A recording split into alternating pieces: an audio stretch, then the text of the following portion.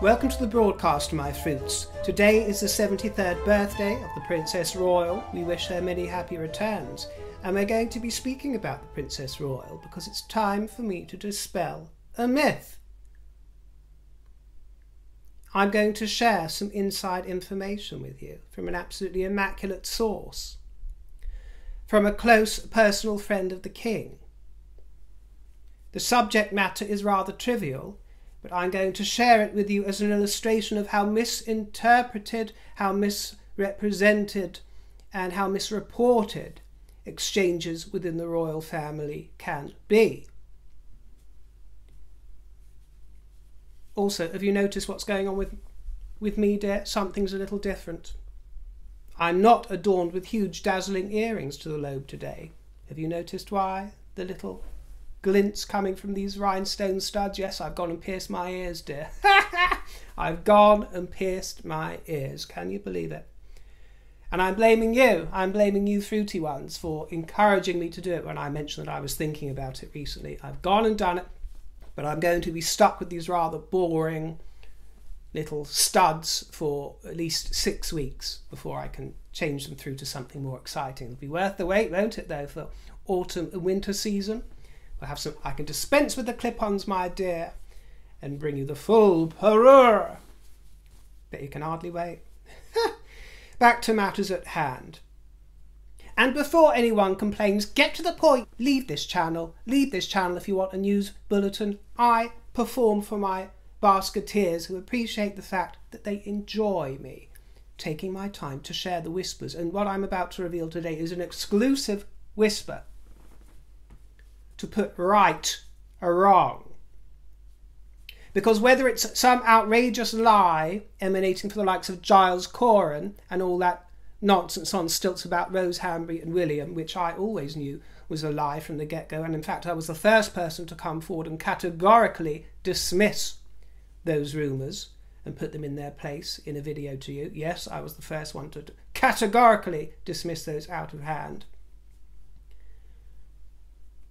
And by the way, did you see that Catherine was out boogie woogieing with Rose Hanbury this week, or so the press tell us, at Houghton? In the grounds at Houghton, they hold a festival. Apparently, Catherine was there with Sarah Cholmondeley. You know, whether it's that kind of mischief or this kind of mischief, because if you cast your mind back a little while to the time of the coronation. There was a story doing the rounds, and I don't think that I brought it to your attention. I noticed it, but I don't think I even told you about it because I knew instantly that there was nothing to it. Instantly, because I know and understand what Anne and Camilla are about. Unfortunately, the wider world don't in their millions, and they swallow all kinds of muck. Camilla confronted by Princess Anne over the Queen title at a tense coronation dinner. Do you remember this? Do you remember those headlines? I do. I knew it was sophistry, but so many people believed this kind of thing. Well, I'm in contact with somebody that was at that coronation dinner, which actually took place after the final rehearsals for the coronation. What we were told in the press is that Princess Anne confronted Camilla and told her, You're not the Queen, you're the Queen Consort. I ask you, as if, as if she would A, have the temerity, uh, and B, have the inclination. The rumour actually emanated from an interview on GB News, which has become more and more like a tawdry cabaret of tabloid tales rather than a news channel in many ways, but it was an interview with April Ashley. Excuse me, uh, my eyes deceived me. It was David Emanuel, David, uh, Dame David Emanuel. I'm being a little bit naughty and a little bit mischievous. I must admit, it was with David Emanuel. Dame David Emanuel, Lady of the Spencer Cloth and the Wedding Garter. For those confused, he is the lady, uh, the chap that designed Diana's wedding gown along with his ex wife, I think, Elizabeth, wasn't it? Well, he claimed that he'd heard all kinds of whispers from various sources that there was a big showdown, he said at this dinner, a big showdown. I did hear, I don't know if you know this story, I heard that there was a, a coronation dinner. And apparently, the Princess Royal, I don't know if you heard this one, the Princess Royal said, You're not queen, you're the queen's consort. Did you hear that one? Oh, yes. Wow. And listen, we all add a dose of drama to our stories and tales. I'm doing it right now. I would never deny such a thing. It says as much in the disclaimer under this video box. We all add a dose of drama. We all add a little of spice, some salt, some flavouring to the meal. So I understand the playfulness. And I understand the host with his feigned pearl clutching. Really? Did that really happen? Wow, wow. And he knows full well it's all complete and utter BS, you know. And most of you understand this, but you have to understand the reason that I'm addressing it is because millions don't. Millions don't. They just lap up everything they're told. And this really did have quite an effect, especially when it sets out to slur the reputation of our Queen, who the channel purports to be rather supportive of, together with the monarchy. And it also breeds an element of bad will. Goodness gracious me! So, oh so, yeah, there was a big So to showdown. clarify, you have heard that Princess Anne said to Camilla's Yeah. face You're that not you were queen. queen consort, not queen. Correct. Wow. Yeah. Now, David Emanuel said, I'm not one to gossip. Now, I'm not one to spread Wow, that's a gossip, fascinating But this is what I've heard from a, quite a quite a few sources. I'm not one to gossip. Oh, just like Dot Cotton, eh? You know, I'm not one to gossip, my dear, but. Or, I don't know, Hilda Ogden. Mavis Riley. Oh, I say, I'm not one to gossip, Rita, but have you heard this?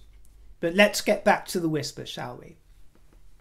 This dinner was hosted by the King and Queen. As I say, it was after one of the final rehearsals. And my source, who is of Welsh descent, well, they are Welsh, was in attendance. Actually, another Welsh person was there, and that was Bryn Terfel, who performed at the ceremony. The King and Queen were there, the Prince and Princess of Wales were there, and I believe the Duke and Duchess of Edinburgh was there, along with the Princess Royal and Sir Timothy Laurence. The Yorks were not in attendance, of course. I'm told that this was at the King's home. Well, he's got several homes, hasn't he, my dear? I'm assuming it's the London home, so I'm assuming Clarence House, but I could be wrong there. But what a fabulous midnight supper, eh, my dear? It makes one come over all a bit hyacinth bouquet, lady of the house speaking. What a midnight supper. How fabulous. So next time, because this source will be watching the broadcast today, next time, my dear, you know, if you need a plus one, hi. Charmed, I'm sure. Charmed, I'm sure. I can't wait to attend with you. Well, this video on GB News, which was the fountainhead of all the news reports that came after it, has got over 1 million views. Princess Anne told Camilla, You're not queen, claims Princess Diana's dressmaker, is what it's called. And I'm going to read out some of the nasty comments that come under it soon. But firstly, I will re- exclusively reveal what actually occurred at that dinner party. Yes. And I must thank my associate and my informant, who is a long term viewer of this channel, dare I say, a basketeer, and her very close friend with familial ties to her, as I say, was a guest at this coronation dinner in question. And they were one of a literal handful of guests from the outside of the royal family who were invited to this dinner and are personal friends of the King and Queen. And they are watching tonight. They were introduced to the royal family by the Waleses. They were decorated by the late Queen Elizabeth, and that decoration was upgraded by King Charles. So that's how highly thought of and esteemed they are. They are extremely, ludicrously talented, rather charming, and a frequenter of all the royal households, but in particular of Balmoral. In addition to those senior members of the royal family, there were five invited special guests. Just five. These were five individuals who had contributed in a major way to the coronation. As I say, it is one of those esteemed guests who has given me the nod to share these details of the dinner and share exactly what was said during the encounter between Queen Camilla and Princess Anne. Because, yes, there was a dinner, there was an exchange between Anne and Camilla. Not exactly as David Emanuel reported it, though. My source has a long established working relationship with all the senior royals and was intimately involved with the coronation and also the Wales wedding and a few other little bits and bobs, including the Scottish service of Thanksgiving and celebration recently. The mood, I'm told, was very jovial, and I'm quoting now many quips were had at all of our expenses, but it was hilarious. Choke on your wine, funny. They were having an absolutely splendid time. Lots of fun, lots of booze, lots of laughter. This is what happened. At one point, Queen Camilla had to ask a servant for a new napkin because hers had become sullied.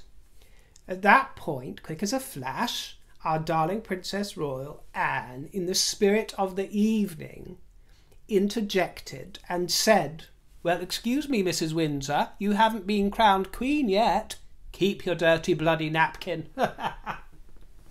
and she gave Camilla a wink. So it was cheeky, it was mischievous, but it was absolutely done with affection. When she said that, Queen Camilla in return then stood and acted out a curtsy to Anne. She performed a curtsy, saying, Sorry, my lady, but I am nothing with my dirty napkin. And the room erupted with roars of laughter and gaiety as the Queen walked over to the Princess Royal and squeezed her shoulder.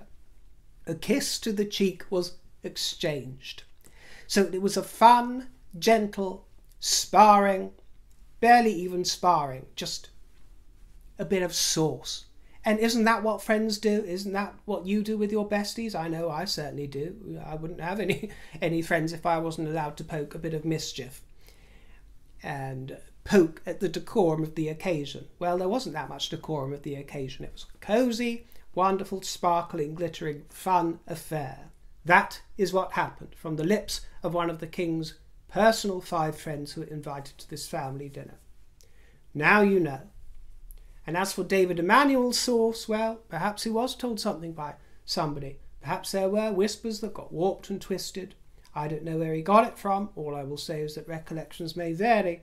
My source is a soul of discretion, but because the sort this particular story involves nothing other than good cheer, they were happy on this occasion to recount the happy, affectionate atmosphere of the exchange and the occasion. Most of you understand the devious nature of the press. Millions of you do not. These are some of the comments after that widely seen video from GB News. These are the first few comments. Anne is a true royal. Spelt incorrectly, I might add. If you're such a great big fan of Anne, you should know there's an E on the end of it. Anne is a true royal. Respect for Princess Anne, saying it as it is how amazingly disgusting a mistress can go from an adulterer to a queen of anything. Well, obviously, for one thing, you're not very au fait with millennia of characters of royal history. It's not as if she and Charles are one off offs in the in the realm of adultery. Anyway, Diana will always be loved, accepted, and admired by the world, and no one can compete with that on any level. So Diana gets a pass for her multiple adulteries, does she? Let's not make Diana out to be the vision of purity or a total saint. And if you're going to feel incredible sympathy for her, despite her adulteries, because she is perceived to be the one who suffered the most, you might want to have a conversation with Julia Carling, wife of Will Carling. And if you don't know what I'm talking about, Find out. Once a consort, always a consort. Let's stop pretending. Much respect to Anne for saying it. Well, this person is one of a trillion dullards who don't seem to understand what a consort is and how everybody that marries into the royal family and marries a male member is a queen consort, not just Camilla. Diana would have been queen consort, publicly styled as queen and the late Queen understood, just to hammer it home in case any thickies are watching this, the late Queen understood that even though she gave blessing for Camilla as Queen Consort, that is the same thing as giving blessing for them to be known publicly styled as Queen, because that's what happens with Queen Consorts. That's the protocol. Whether you're Mary, Alexandra, Diana, Camilla, the Queen of Sheba, I don't know, my dear. Maybe they don't have consorts in Egypt or wherever Sheba was. Where no, Africa was. I don't know. I, I'm digressing, but you know.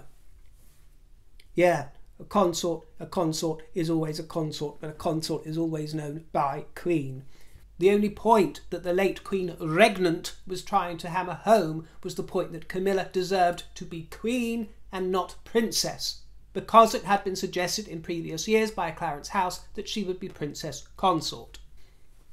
And the late Queen knew that and gave her blessing for that, and also Anne would have no problem with that. Almost 15,000 comments, all of them, or most of them, very spiteful, but now it's time to tell you the truth of the matter, and the truth of the matter is that they adore each other.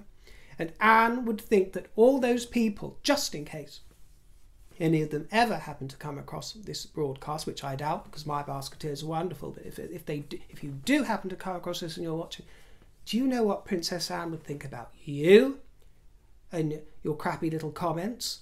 Do you understand what sort of cretin, what sort of waster she would think that you are, what sort of unsophisticate? a total lack of sophistication, and zero skills of discernment, evidently. Goose egg. Goose egg skills of discernment. You just lap up any trash you watch and read and spout it out. She wouldn't give you the time of day if you were serving her tea with white gloves and a pressed uniform. Anne and Camilla are old chums. Old, old, old chums. Anne was shagging Andrew Parker Bowles. She was shagging him back in the day in 1970. The summer of 1970 was a wonderful summer, a wonderful summer of equestrian romance for Annie and Andrew Parker Bowles, A and A. It was Jilly Cooper on Tina. It was Sex in the City via the country on stilts, my dear. It was all going on, and we all know about it. And there was no love lost three years later when Anne attended Camilla's wedding to Andrew Parker Bowles in 1973, along with the late Queen Mother and the late Princess Margaret Rose. Also, Andrew Parker Bowles is godfather to Zara. Yes, they've been cosy for decades. They were riding the same steed for some time, if I might put it delicately. They kiki over his bedside manner, don't you get it, my dear? They kiki over his bed- bedside manner and compare notes as us ladies do. Us ladies and lady boys, you know, we like to compare notes, don't we, my dear, and say, oh, yes, we've ridden the same steed. What did you make about this? What did you make about that? Isn't it good? Isn't it weird? Isn't it? All of that kind of kiki and they still bask in the afterglow of his affections, which are rather legendary if you know anything about Andrew Parker Bowles, and lots of people do know quite a lot about Andrew Parker Bowles. Andrew Parker Bowles has rogered his way through half of the home counties. He's rogered his way through Norfolk, he's rogered his way through Wiltshire, he's rogered his way through town.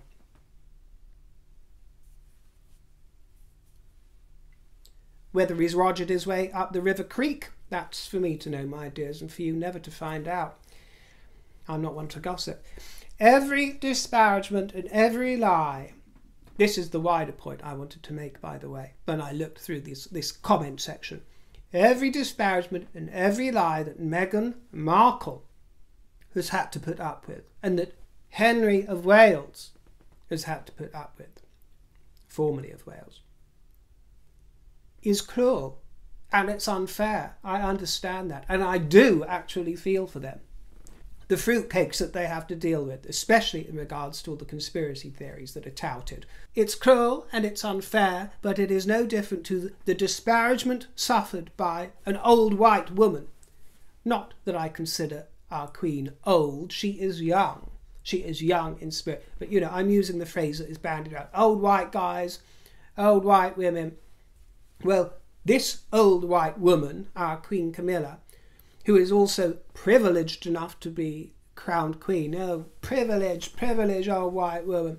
She has to, she has suffered in the past much more disparagement than Meghan and Harry, but she continues to. That happens with everybody that marries into the royal family, whoever they are, wherever they come from. Another thing that is illustrated by the explanation of what really went on that shows us is the British sense of humour, which I've spoken about quite a lot previously the sense of humour, the fun, dry, self deprecating humour, which is mischievous and you can give each other a little bit of a poke and it's all taken in good humour. And actually, the person who related this information to me also said that they were sharing a drink with the Princess of Wales at this gathering, at this dinner.